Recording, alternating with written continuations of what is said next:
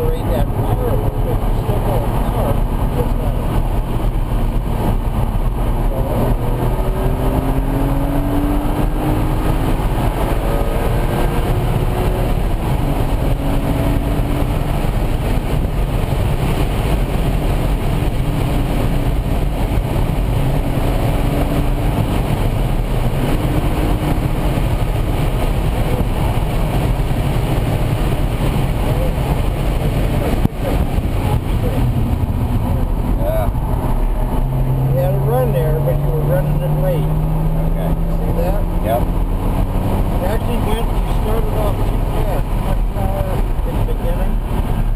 What happened.